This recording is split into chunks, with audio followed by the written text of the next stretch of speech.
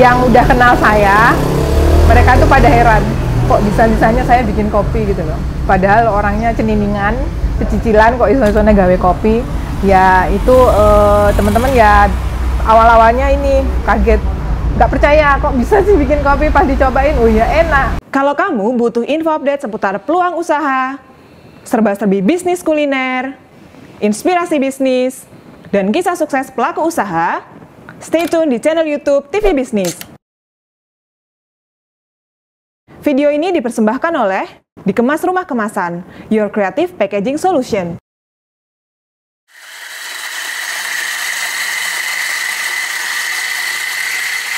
Assalamualaikum teman-teman UMKM Perkenalkan nama saya Sri Rahayu Biasa dipanggil Ayu Atau kalau enggak teman-teman saya biasanya manggil saya Umi Zaki Uh, Ini saya di sini selaku owner Sekaligus founder dari kedai kopi Polonia Ini uh, alamatnya di Jalan Airport Adi Sucipto nomor 280 Jadi uh, ini ha, tepatnya berada di utara Bandara Adi Sucipto, Yogyakarta. Uh, dulunya saya itu suka banget sama kopi, mas. Jadi uh, ke mana-mana itu gaweannya keluyuran nyari kopi. Nah, terus karena uh, usaha saya yang lama itu kan dulu ada usaha saya penginapan di dekat bandara. Karena bandaranya udah pindah ke Nia ke Kulon Progo kan jadi penginapan otomatis e, berhenti ya udah nggak ada tamu lagi. Makanya terus kemudian saya berinisiatif untuk jadi tukang kopi. Nah jadi tukang kopi gitu makanya e, saya ngomong sama keluarga disetujuin ya udah jadi deh ini kedai kopi Poland Uh, awalnya saya nggak tahu apa-apa soal kopi, taunya cuma minum kopinya aja, taunya cuma uh, menikmati kopinya aja kan uh, di kedai-kedai kopi, di kafe di di Jogja. Nah, terus kemudian saya belajar sendiri, saya punya temen barista yang udah pengalaman, uh, saya minta tolong sama teman saya untuk diajarin bikin uh, berbagai macam kopinya yang basicnya. Sebenarnya saya masih uh, istilahnya masih tahu baru tahu basicnya aja Mas Heru. Jadi uh, uh, saya belajar dari beliau. Beliau udah berpengalaman jadi barista beliaunya ya ke sini malah ngajarin saya.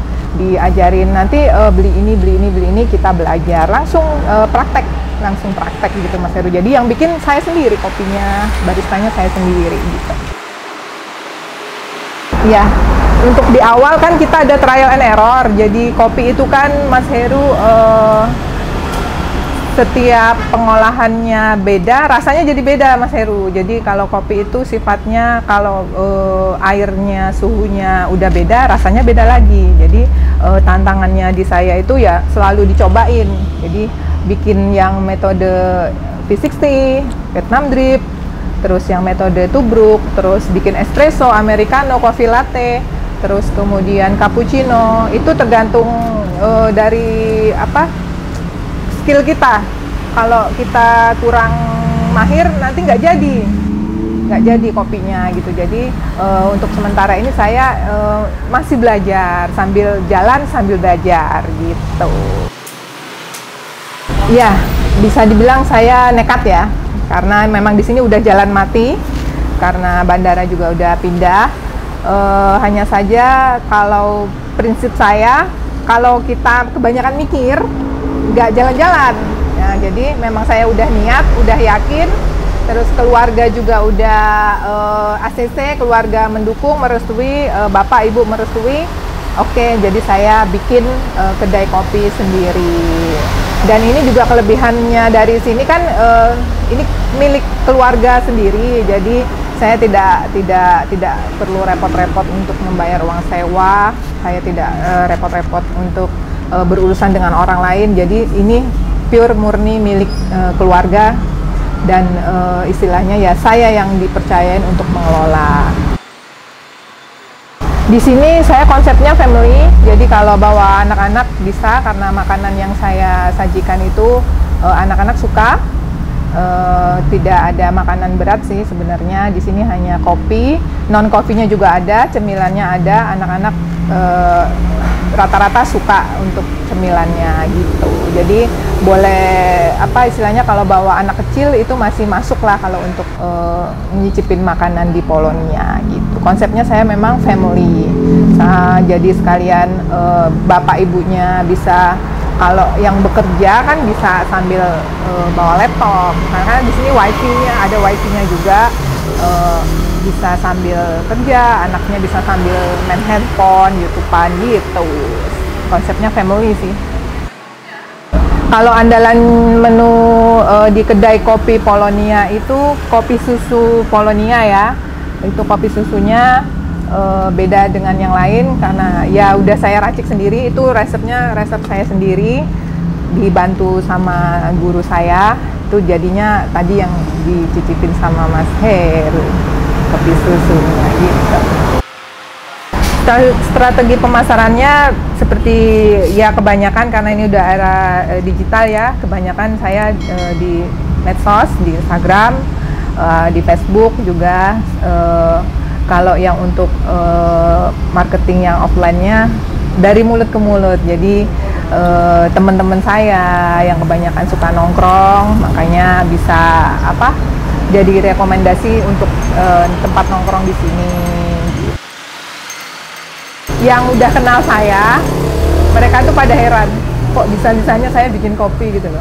Padahal orangnya ceniningan, kecicilan kok iso-iso gawe kopi. Ya itu uh, teman-teman ya awal-awalnya ini kaget.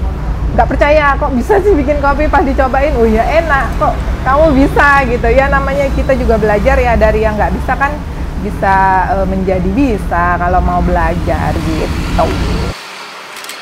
Kalau yang jadi unggulan uh, biasanya tamu saya tuh senengnya untuk di Nusantaranya di kopi Dieng semakin kopi itu tumbuh di dataran tinggi, itu kopi semakin enak rasanya. Jadi yang di sini unggulannya itu Dieng uh, dengan metode V60 itu langganan saya uh, senang banget itu yang uh, V60 yang Dieng untuk terus kemudian kopi susu Polonia juga pada seneng karena kan itu uh, seger ya dingin terus manis. Nah kalau yang uh, arabica kan asem anak-anak nggak suka. Anak-anak biasanya sukanya kopi susu sama uh, yang non coffee itu biasanya green tea terus red velvet sama coklat atau milkshake. Ada kok di sini.